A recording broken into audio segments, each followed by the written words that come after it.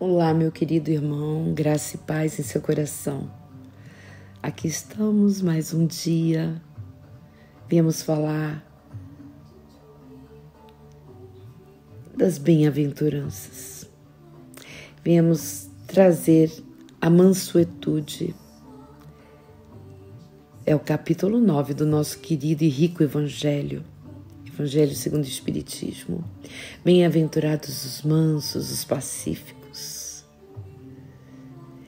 ele vem dizer que o covarde não é uma criatura resignada, assim como o orgulhoso e egoísta não podem ser obedientes.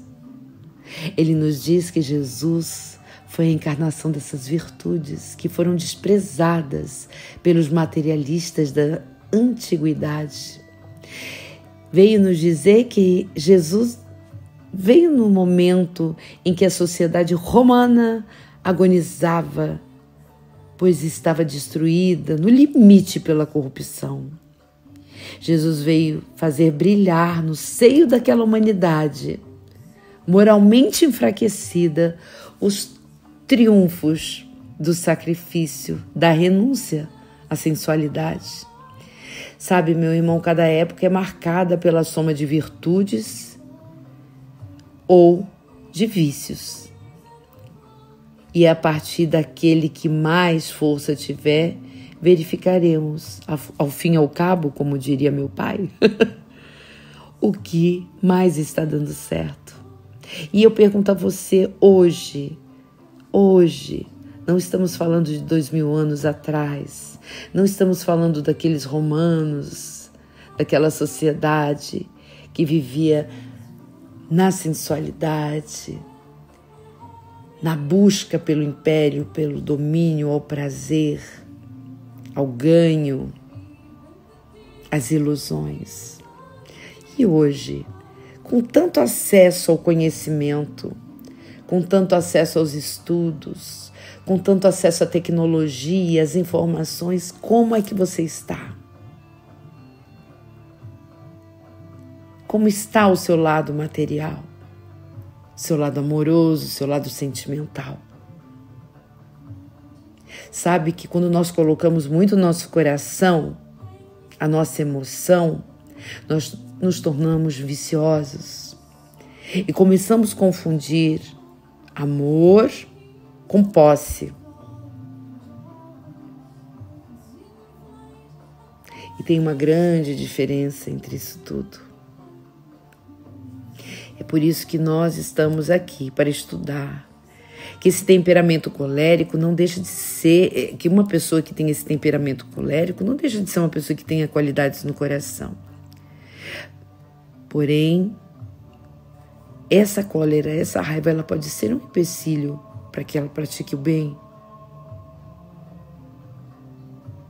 Como faremos para dominar esse instinto ainda tão primário, primitivo dentro de nós? se não utilizarmos da força, da energia, não para nos tornarmos ainda mais animalizados, ao contrário, para nos tornarmos mais flexíveis, para entendermos que não somos donos da verdade, que o outro pode ter algo a nos dizer, que se procurarmos só no exterior, não encontraremos respostas. Que aquele alimento que buscamos dentro de um grau de ansiedade, talvez esteja aqui pertinho de nós, quando nos submetemos ao julgo do trabalho, do jejum, da reflexão, do estudo, da empatia com o irmão. Hoje, ou melhor, ontem, eu vi um professor que havia perdido o pai, se não me engano, tá? Me desculpem se estiver errada, porque eu só ouvi a reportagem uma vez. E ele estava entristecido e muito preocupado. Mas não é por ter sido esquecido por mais de 80 alunos que ele tem em várias salas de aula. Foi por apenas três ou duas pessoas se lembrarem de perguntar como ele estava. Quer dizer, um professor, aquele que leva a educação, aquele que leva o ensino, aquele que leva a pedagogia, do amor. Tem que ter muito amor. Porque pelo dinheiro ele não está ali, não. Ele está porque gosta de estar. Então, que leva a palavra, que leva a alegria, que leva o ensino, para que esse jovem possa no futuro desbravar lugares, talvez nunca por outros passados. A pesquisa, o conhecimento. E de repente ele se vê aturdido, indignado pela falta dessa sublimidade, pela falta da empatia, da compaixão. Como seriam esses jovens no futuro? Ilimitados na arte da frieza? Teriam no lugar de um coração uma pedra? Sim, porque é esse o mundo que estamos deixando para os nossos netos, bisnetos, para os filhos. E isso faz o coração entrar em num descompasso, sabe? É muito fácil é, nós atribuímos o erro ao outro. Ah, porque foi o mal, ah, porque foi o inimigo, ah, porque foi o. Sabe? Desculpe, a gente sabe que nós passamos por obsessões, por fascínios, por subjugações, mas estamos aqui para lutar contra isso. Porque não há corpo, meu irmão, que dê guarida à cólera que ele já não possua. Assim como também outros vícios.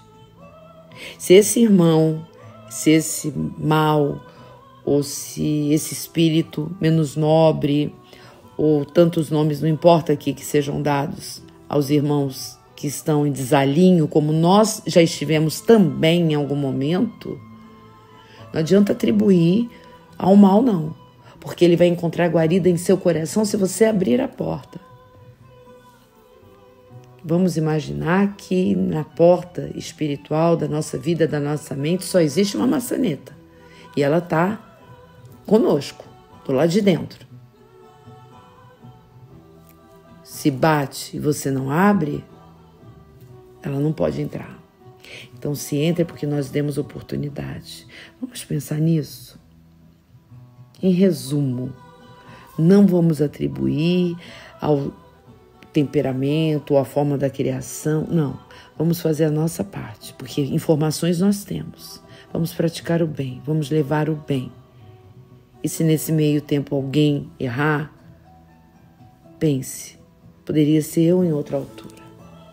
Aprendendo a perdoar. Sabe, aqueles que amam muito acham, às vezes ferem ofendem porque acham que nunca vão perder o seu carinho, o seu amor. Pense nisso. Isso também há um quê de humildade. Não é deixar que te pisem, que te esmaguem, não é nada disso, não. É não levar para o coração. Coloca a razão. Se você levar para o coração, você vai trazer a dor, a mágoa se você foi o ofendido, tá? Porque aquele que é o ofensor, normalmente ele não traz a mágoa porque ele botou tudo para fora que desejava, não é? Pensa nisso. Vamos buscar esse espírito de fraternidade, esse espírito pacífico. Quem sabe assim encontraremos mais paz, mais harmonia e um futuro mais promissor. Um beijo para você, meu irmão. Até amanhã, com muito amor.